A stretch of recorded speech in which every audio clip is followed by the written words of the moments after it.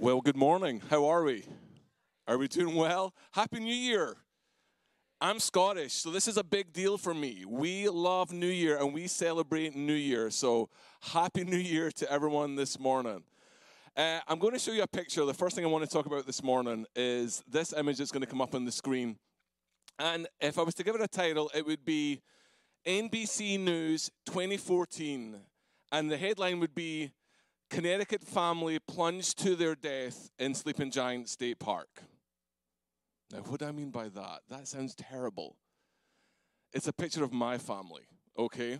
So let me tell you the backstory to that image that's going to come up. It's 2014. We had just moved to Connecticut about two or three years previously, and we wanted to go hiking. We wanted to take our kids on a hike. Our kids at that time were two and five years old. And so we went to Sleeping Giant. It was the closest one. We lived in Hamden at the time. And so we went to Sleeping Giant. And as we started to walk, we like we had our backpacks full, we had our drinks and our snacks, but honestly, we were just kind of kind of like, hey, it's fine. We know what we're doing. We'll just go hiking we pretty much ignored the big sign that told you which paths were good paths, which trails were bad trails, if you have young kids. We just found a trail. It looked like lots of people had walked it, so we thought, let's just walk this trail. So off we went, and for about the first 30 minutes, it was actually okay. As we climbed up through the trees, we could see more and more of Connecticut, and our kids were loving the hike, and everything was going really well. And we sat down and we took a picture. This was, you know, this selfie. We took the family selfie. Look, here we are on our hike. And we kept on walking. And then it happened. We literally walked to this one point, and it was like a cliff, like a 40 foot cliff. And we're like, wait, what? But you could see the trail kept on going at the bottom of the cliff. And we're like, wait, wait, what? So we started the dialogue. Do, do, we, try, do we have to climb down this? We have a two year old and a five year old right here. Are we going to die? And so we debated, like, there we are. Now, my son in the front row is mortified because he's now 13 and he's like, get that picture off the screen, right? But there we were, and we're like, this is the image that's going to be NBC Connecticut tonight. Like, do we, do we go down? Do we, but we've walked so far, do we go back? I don't want to go back. I want to keep walking forward. Side note, we turned and walked back because we did not want to be that NBC Connecticut story that night. But you see, when we started on that path and that trail, it looked great and everyone had walked it. It was well worn. But we pretty much ignored the sign that told us this is not the trail for you. You should try another trail. You know, I think we're all walking paths every day or trails. And as we come into New Year, some of us are walking paths of doubt. Some of us are walking paths of questioning faith. Some of us are walking paths or trails where we're questioning and doubting our marriage. Some of us are walking paths and wondering, is this relationship going to go anywhere? Are we going to get married?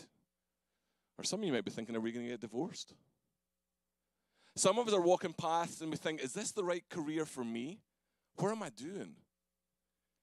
You see, at the start of the year is often a time of reflection. When we look back, but we also look forward. And that day we were walking a physical path, but all of us, I think, every day we're walking paths. In our relationships, in our career, in our families.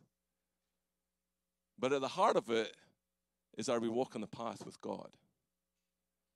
Are we walking the path with God?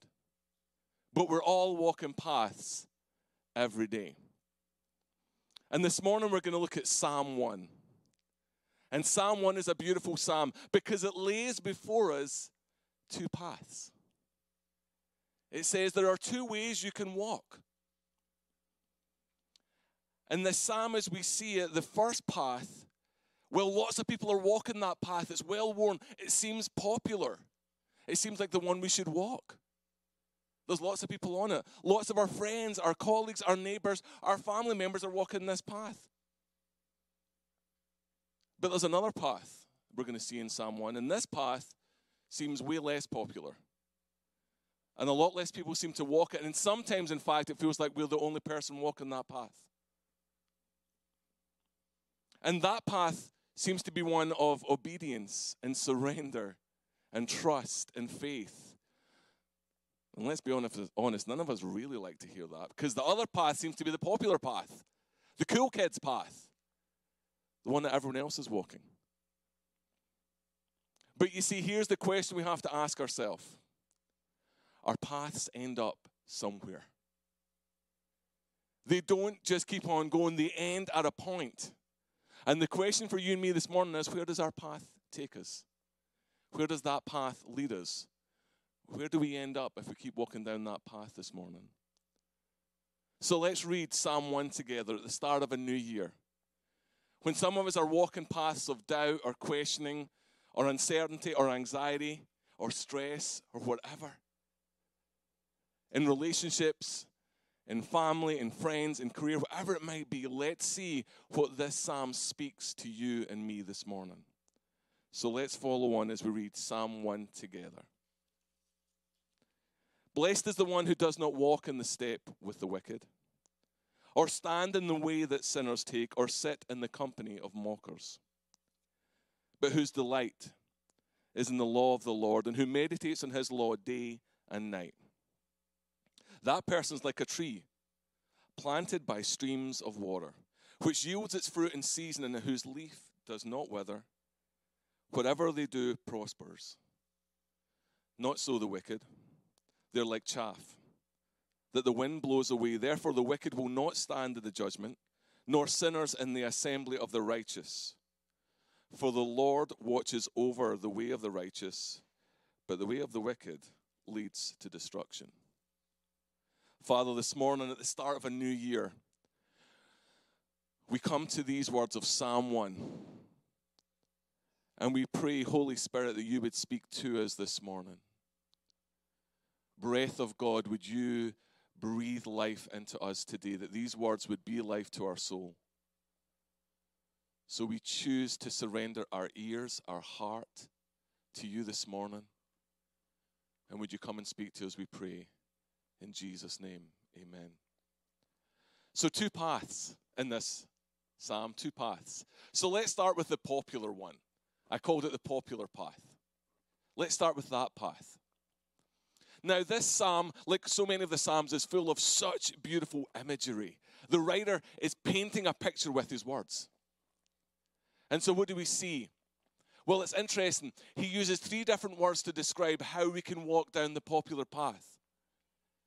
It starts with to we can follow, then we can stand, and then we can sit. Now think about that for a moment.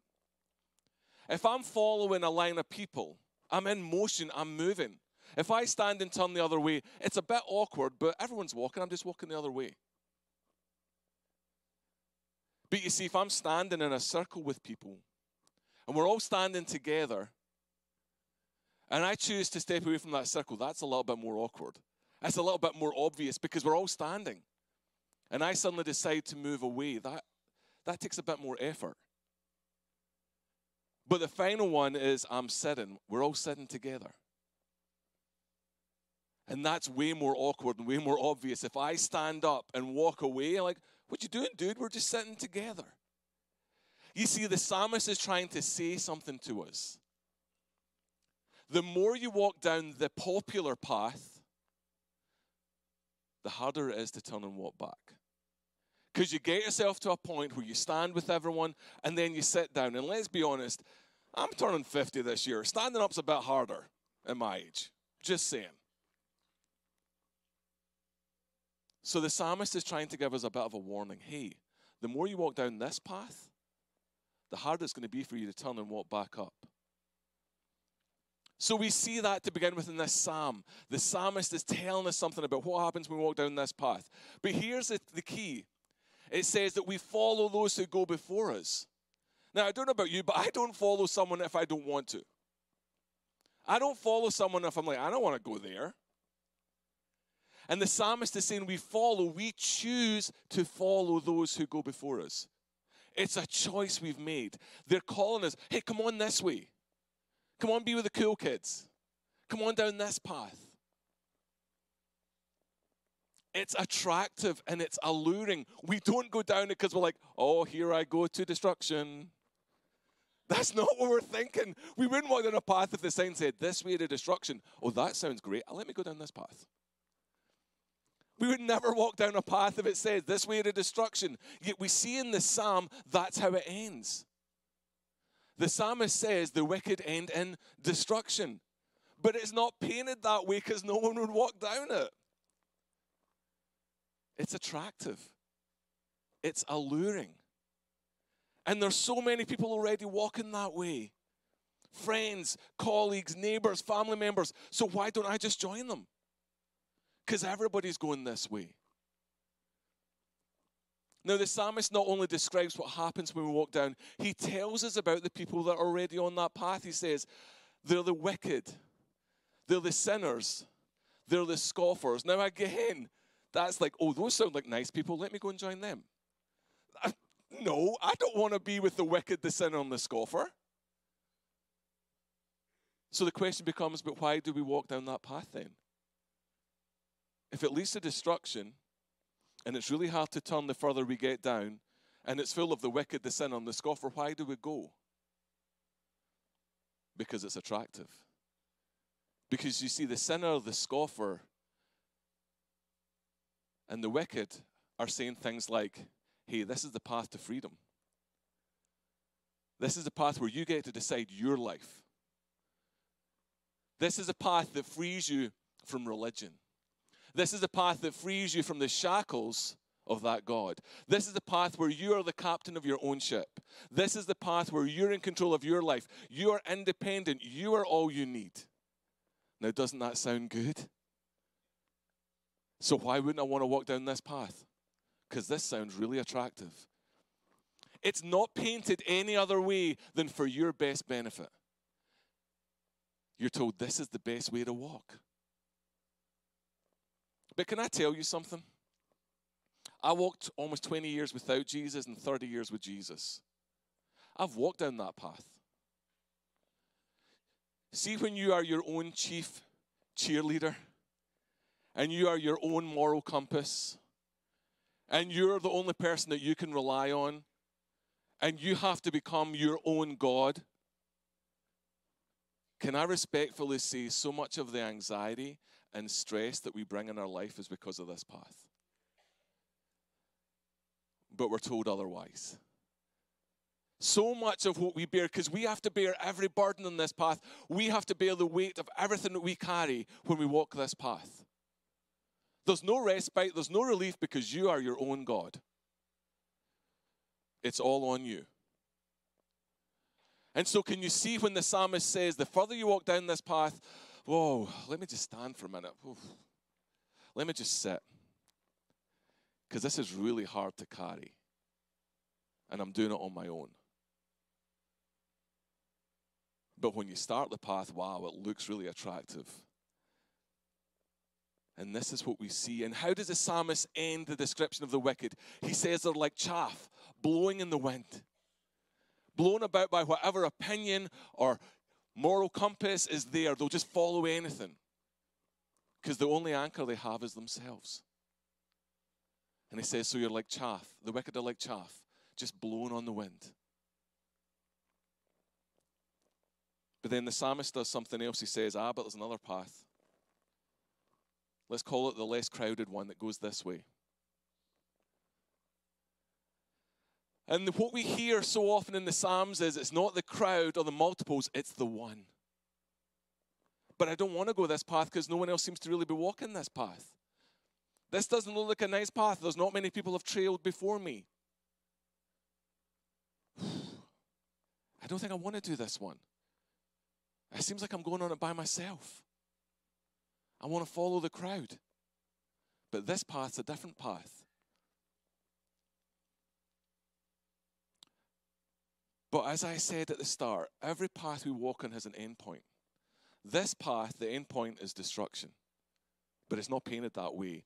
But this path ends at a tree. Ends at a tree? I don't want to be a tree. But this is where it ends. Now, for you and for me, man, Connecticut, we got a lot of trees. Yep. Man, we got trees everywhere.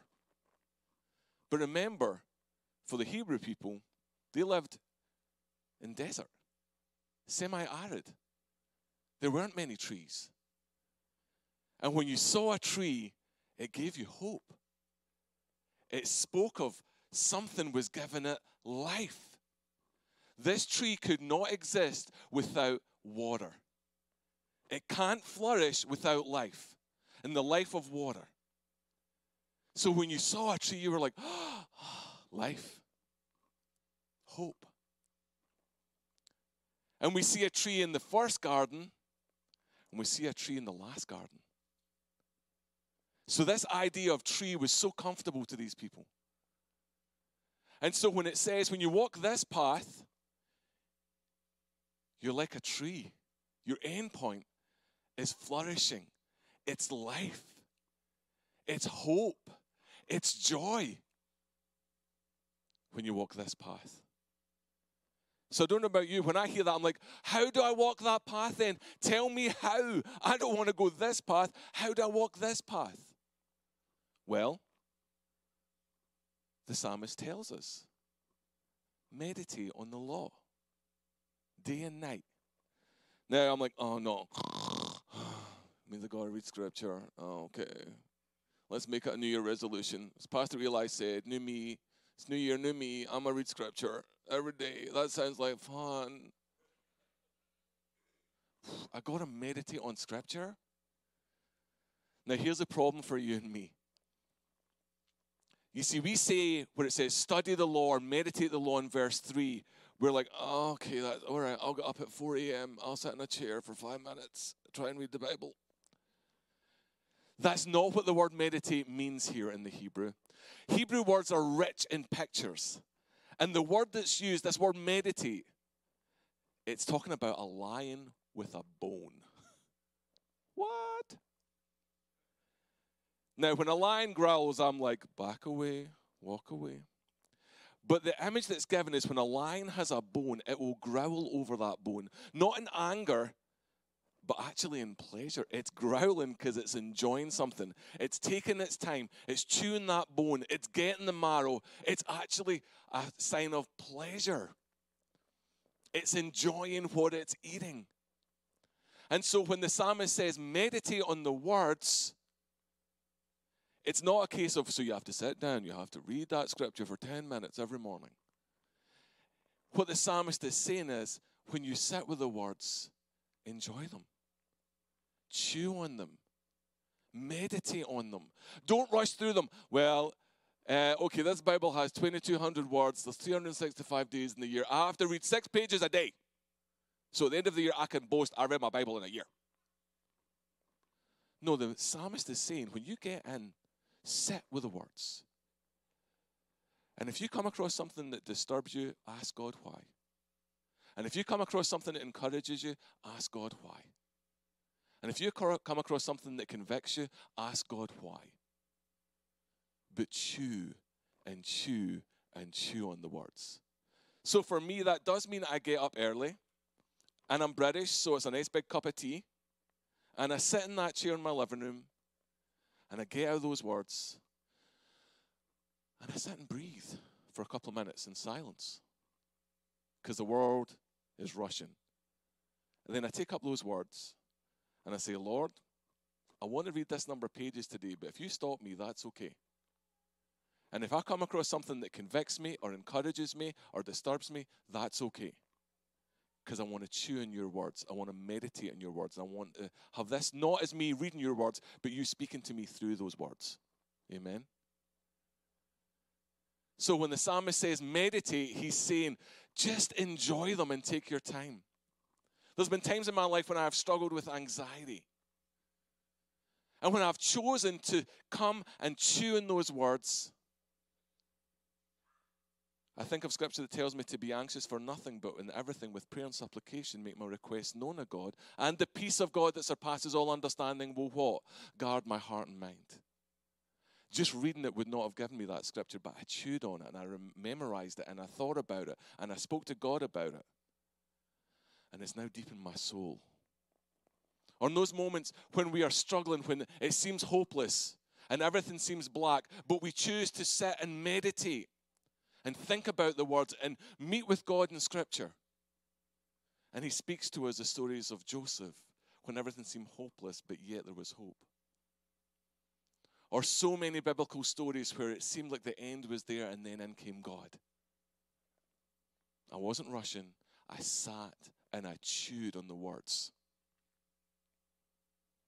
And I flourished, and my soul prospered. This psalm gives us a warning, though.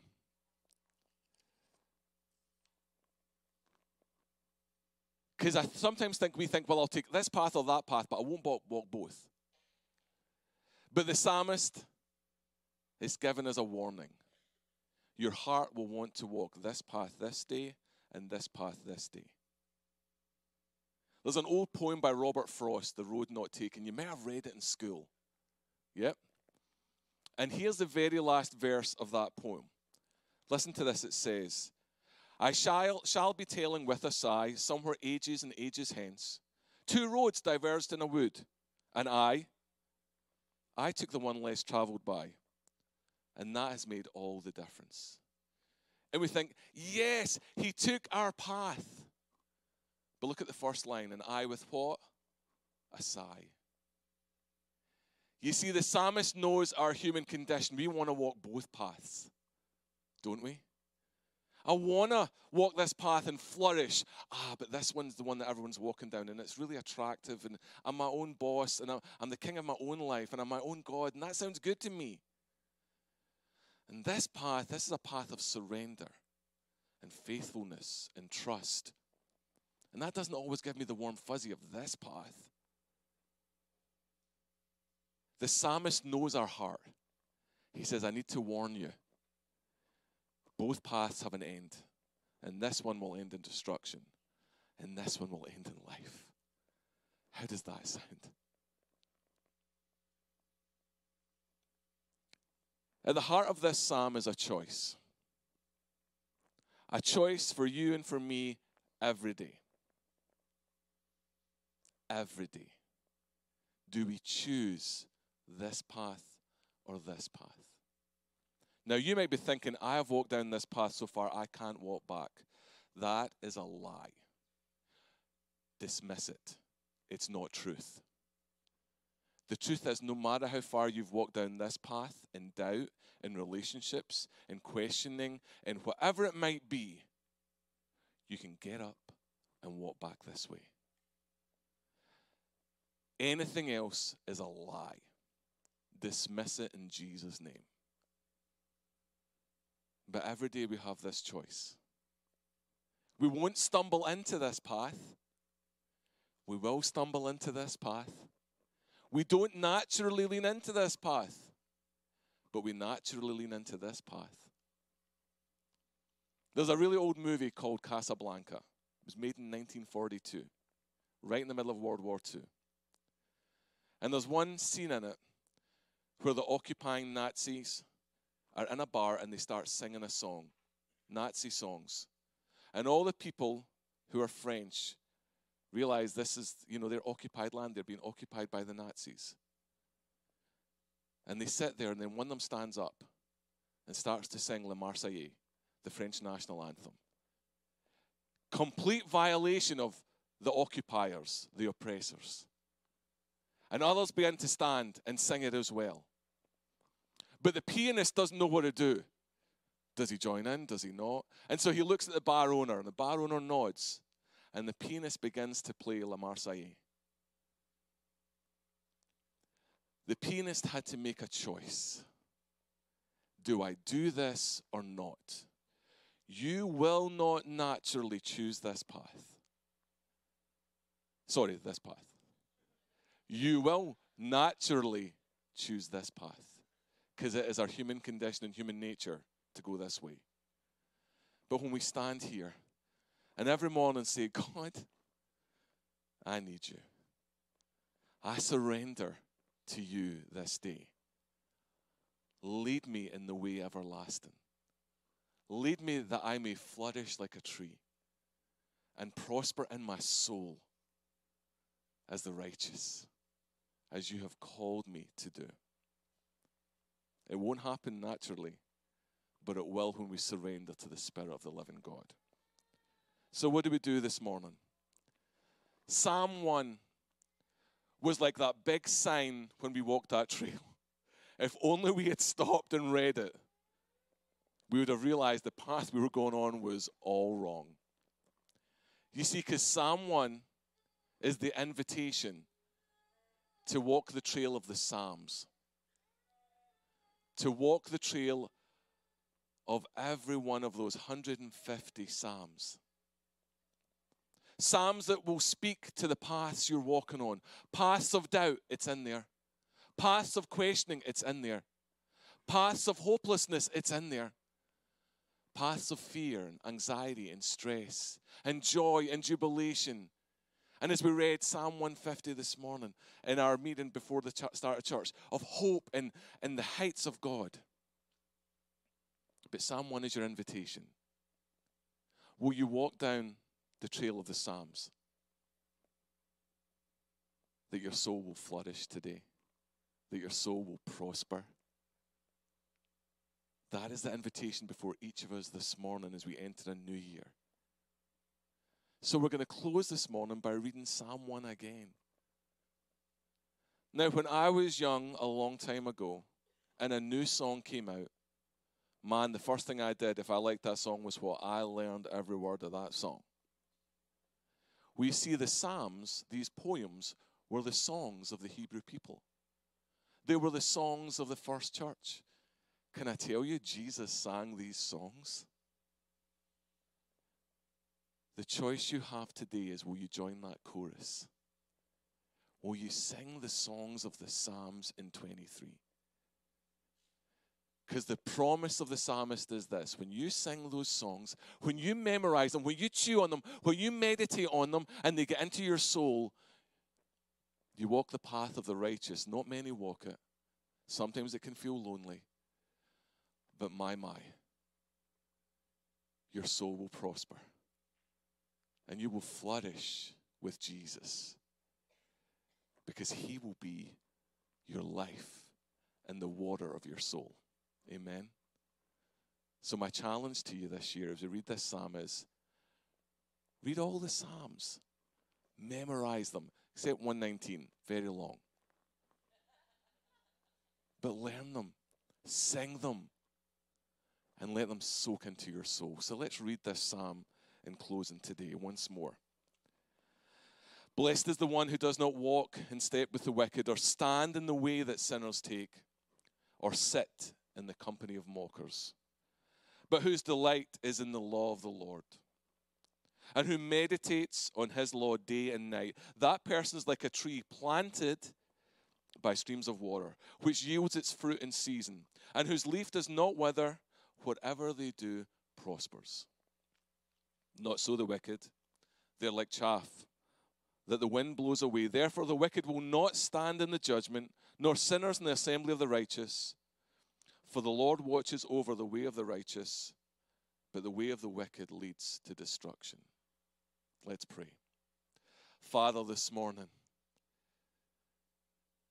God, we just stop at this psalm and we see it as the sign the invitation, the entryway to all the rest of the Psalms.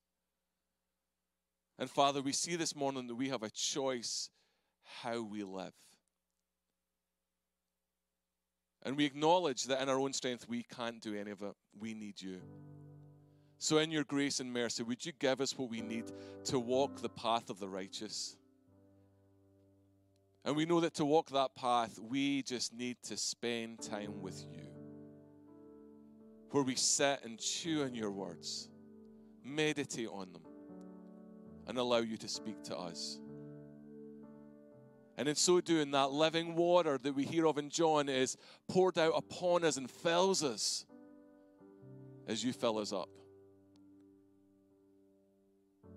And we flourish and prosper in you, Jesus. So we surrender it all to you. Now, while every head is bowed and every eye is closed, If this is a conscious decision you're making for the start of 23, Lord, let me walk the path of the righteous. While every head is bowed and every eye is closed, would you just look up and make eye contact with me? If that is a decision you choose to make this year,